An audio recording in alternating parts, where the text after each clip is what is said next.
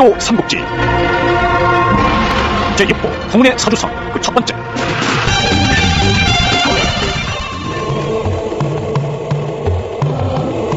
조조는 낙양에 입성했다. 천자를 보위하고 천하의 제후를 호령한다는 조조의 대야망이 마침내 그 첫발을 내디딘 것이다. 조조의 낙양 입성을 두고 쉽게 믿는 자들은 벌써부터 이렇게들 얘기하고 있었다. 조조는 동탁이나 이각 박사의 일과는 차원이 다른 사람이다. 앞으로 천하는 조조, 이 사람을 중심으로 돌게 될 것이다. 그러나 이것은 어디까지나 일부의 얘기고 이때까지만 해도 조조는 천자를 보위하는 한실의 충성스러운 신하로서의 본분을 다하고 있었다. 낙양에 입성하자마자 부흥전을 지어서 천자를 극진히 모셨고 막대한 양의 식량을 방출해서 낙양 백성들의 기근을 해결했다. 조조의 인기는 하늘을 찌르고 천자인 헌제는 이렇게 극찬했다. 조조, 그대야말로 한실의 진정한 충신이요. 그러던 어느 날 천자는 조정의 일을 논의하기 위해서 조조에게 동소라는 책사를 보냈다. 그런데 조조는 이 동소라는 인물의 수려한 외모와 인품에 그만 반하고 말았다. 신뢰가 안 된다면 한 가지 여쭙고 싶습니다. 말씀하시죠. 근자에 들어 세상의 거친 인심이 사람들의 얼굴에도 반영된 탓인지 누구를 만나보아도 피부엔 생기가 없고 얼굴엔 어두운 그림자가 가득했습니다. 그런데 공은 다르시군요. 미목엔 정기가 가득하고 존안에 기품이 넘치십니다. 몸을 보살피는 무슨 비결이라도. 다른 것은 없사옵고 그저 30년째 소금을 입에 대지 않고 있사옵니다. 아, 그래요? 그저 아무리 그 삼국기에 나온 얘기라지만 그 절대 이런 거 따라하지 마시기 바란다. 그 30년 동안 소금을 안 먹었다는 그 말이 되거든. 이건 참 큰일 날 소리 하고 있어. 저도 장군께 한 가지 여쭙고 싶은 것이 있사옵니다. 말씀하시죠.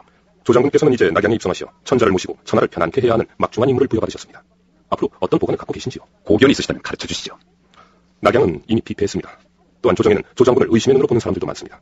이런 세력들을 일수하기 위해서는 혁신적인 변화가 필요합니다. 바로 천도를 하는 것입니다. 수도를 다시 옮겨야 한다는 말씀이십니까? 그렇습니다. 허도는 풍요로운 땅입니다. 그곳으로 수도를 옮기시면 백성들은 넉넉해지고 장군의 입지는 더욱 견고해질 것입니다. 그리고 며칠 뒤에는 한 핵이 찾아와서 조조에게 이런 말을 전했다. 아, 저 조장군. 최근 태사영 왕립이라는 자가 전문을 살펴보니 태백성이 두 사이에서 북극성을 범하여 천지를 지나가고 화성은 역행하여 천관에서 태백과 만나니 이는 금과 화가 바뀔 운세라 하옵니다. 가만, 근데 그게 뭔 소리요? 듣는 청취자들도 생각해서 좀 쉽게 풀어서 얘기하시오. 아, 그러니까 쉽게 얘기하자면 조만간에 천자가 선수 교체 바뀔 운세다 뭐 이런 얘기죠. 조조는 즉시 수능을 불렀다. 순욱, 난 천문에 대해서 설명을 들어도 잘 모르겠는데 그건 무슨 뜻인가? 화성이 빛을 잃고 토성이 힘을 얻고 있다는 뜻이옵니다. 화성은 한나라를 상징하는 별이고 주군을 상징하는 별은 토성입니다. 허도는 바로 토성의 땅이죠. 허도로 수도를 옮기시면 주군의 기운은 더욱 뻗칠 것이옵니다. 조조는 천자를 배알했다. 그리고 감히 이런 진언을 했다. 폐하, 신이 생각하건대 낙양은 이미 피폐할 대로 피폐해져 있사옵니다. 수도를 옮기시는 것이 어떠실런지요? 또 수도를 옮기시는 말씀입니까? 허도는 산물이 풍부하고 물자가 넉넉한 땅입니다. 그것으로 천도를 한다면 백성들도 기뻐할 것입니다. 알겠어. 백성들의 뜻이 그렇다면 따라야지요.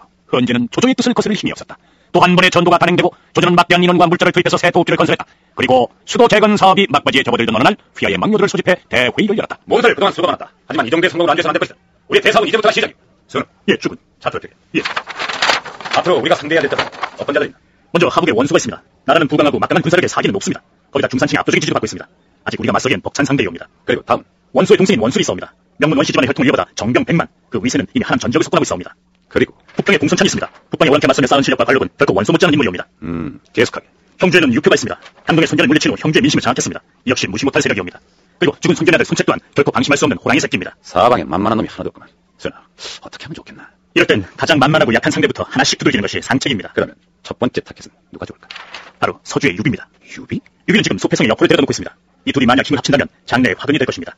싹이 자라기 전에 쳐야죠. 아, 그럼 지금 당장 군대를 일으켜 아닙니다. 이제 막 천도가 끝난 후라 군사를 일으킨 것은 바람직하지 못합니다. 제가 한번 계책으로서 저 둘을 제거해보겠습니다. 계책을 써서 유비와 여포를 제거한다고. 이호경식이라는 계책이옵니다. 여기 두 마리 굶주린 호랑이 이호가 있습니다. 이 두 호랑이에게 고깃덩이를 한 개만 던져줍니다. 그럼 두 호랑이는 고깃덩이를 차지하기 위해 경식, 다투겠죠. 그러다 결국 한 마리는 죽고 말 것입니다. 그리고 살아남은 호랑이도 상처투성이가 돼 있겠지. 그걸 숨어서 노리고 탐난다. 그 얘기구만. 예, 그것이 바로 이호경식이란 계책이옵니다. 유비는 아직 정식으로 서주태수의 임명장을 받지 못했습니다. 지금 즉시 유비에게 사신을 보내서 서주태수의 발령을 내리십시오. 그러면서 여포를 죽이라는 명령을 내린 것이옵니다. 그러면 두 사람의 싸움이 아주 볼만할 것이옵니다. 천하의 풍운은 서주성을 향해 덮쳐오고 있었다.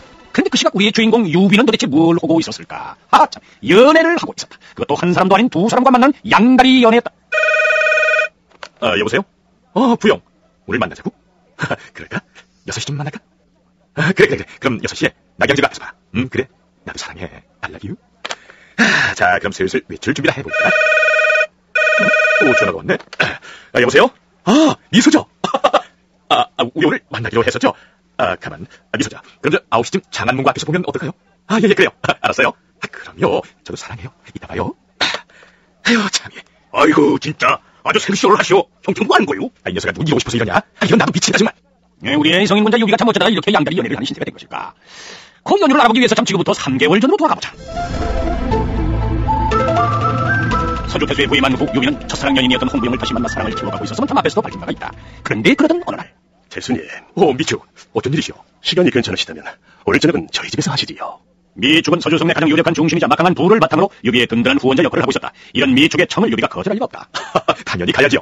관우 장비와 함께 가겠습니다. 그리고 그날 저녁 이야, 아, 그냥 음식도 푸짐하고 술도 맛있고, 아, 신난다. 자자, 다들 건배요, 건배. 장비야, 너 오늘 술이 좀 과한 것 같다. 이제 그만 마시지 그러냐? 아, 진짜 소주 두 병밖에 안 먹었어. 특병으로 두 병 아니냐, 이 녀석아. 장비, 개념치 말고 오늘은 많이 드시게나. 아, 저, 저, 그나저나 미추. 오늘 무슨 날입니까? 어쩐 일로 이렇게 우리를 초대를 해주시고 저, 실은 태수님께 소개해드릴 사람이 하나 있어서요. 소개요? 얘들아, 아가씨를 메셔오너라. 잠시 후 하녀들의 부축을 받으며 웬 아리따운 아가씨가 방에 들어섰다. 태수님, 제 미천한 누이옵니다. 별로 볼 것은 없사오나 심성은 착한 아이입니다. 태수님께서 거두어 주신다면 가문의 영광이겠사옵니다. 아, 예? 예?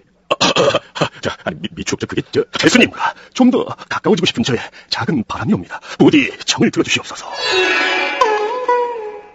아니, 형, 어쩌다고 전화번호를 받아온 거예요? 홍구영 아줌은 어쩌고요? 아, 그 진짜 소리 확 깨네, 정말. 아, 저, 참, 이, 이 녀석아, 그, 그 면전에서 어떻게 거절을 하냐? 그 미추이 이렇게 간곡히 부탁하는데 말이야. 그러니까, 예의상 어쩔 수 없이 받아왔다, 그거예요? 알았어요. 전화기 줘봐요. 제가 싫다고 대신 전화할게. 아, 저, 저리 가, 이 녀석아. 아, 괜히 자기도 좋아서 받아놓고서, 아, 이 녀석이 정말. 아, 저, 관우야, 이럴 땐 어떻게 하면 좋겠냐? 아, 글쎄요. 저도 그런 쪽으로는 영 전문이 아니라. 형, 이제부터 형 인생 좀 피곤할 거요. 양다리를 뭐 아무나 하는 줄 알아요? 이렇게 그렇다면 이렇게 해서 유비는 양다리를 걸치게 된 것인데 장비의 말 마따나 참 유비의 인생 피곤해지기 시작했다. 바람기 많은 남자라면 이런 경험 한 번쯤은 해봤을 것이다. 먼저 같은 영화를 두 번 보고 오빠, 이 식스센스란 영화 되게 무서운 영화래. 응? 그래? 오빠, 나 벌써부터 다 무서워하고 있지. 아유, 내손 꼭 붙잡고 보면 하나도 안 무서울 거야. 응. 부영 곁엔 내가 있잖아. 오빠, 부영? 이 식스센스란 영화 굉장히 무서운 영화래요. 아, 그 미소저 곁엔 제가 있지 않습니까? 그 무서워하지 말아요. 네? 네, 유비님.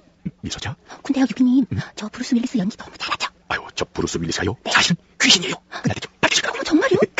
근데 유빈님 그거 어떻게 하셨어요? 이 영화 보셨어요?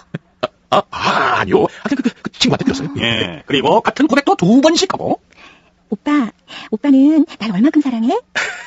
부영, 두 팔로 동그랗게 원을 만들어봐. 이, 이렇게? 응? 이 세상에서 그걸 뺀만큼 널 사랑해. 오빠. 부영, 유빈님, 유빈님은요, 저를 얼만큼 사랑하세요? 어, 미소저. 두 팔로 동그랗게 원을 만들어보세요. 이- 이렇게? 참 잘했어요. 미소저.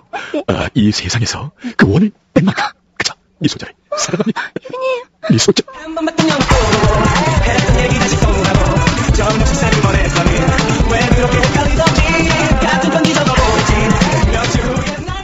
그런가 하면 유비는 이런 양다리까지 걸쳐야 했다. 오빠, 여기가 내가 힘들 때마다 자주 찾는 절이에요. 주지스님께 인사드리세요. 아, 안녕하십니까. 전 유비라고 합니다. 남은 관세음 보살. 부영 보살님께 말씀 많이 들었습니다. 불심이 아주 깊으시다고요. 아, 아, 예. 그 절에만 오면 심신이 편안해지고 번뇌가 사라져서 그저 뭐 자주 찾고 있습니다. 남은 관세음 보살. 아, 나무 관세음 보살. 유빈님, 여기가 제가 다니는 교회예요. 목사님께 인사드리세요. 아, 저 안녕하십니까. 전 유비라고 합니다. 아, 미자매님께 말씀 많이 들었습니다. 신앙심이 무척 깊으시다고요. 예, 예. 전 3대째 모태신앙입니다. 그러시군요. 그저 늘 범사에 하나님과 함께 하고 있지요. 네. 아멘. 아멘. 유비의 아슬아슬한 줄타기는 언제까지 계속될 것인가? 라디오 삼국지 내일 이 시간을 기대해 주십시오. 지금까지 출연 기영로, 안정현, 조경로, 김창길, 남경표, 오인성, 홍성은, 이의선, 김관진, 김무교, 홍혜수, 이영아, 마공선, 하성래, 해설 양지우, 음악 박희정, 효과 이용문, 정현재, 기술 이성호, 극본 김도선, 연출 안중국이었습니다.